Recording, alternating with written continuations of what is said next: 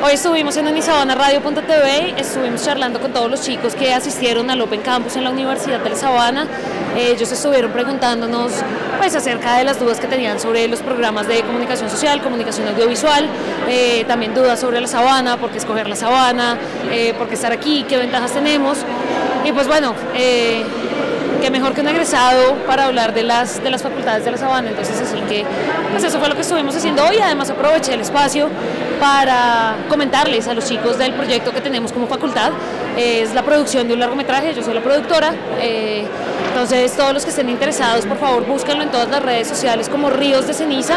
Ahí nos van a encontrar, se pueden comunicar con nosotros y, y empiecen a mantenerse en contacto con un producto que va a estar muy, muy chévere y que van a poder ver en salas de cine del país.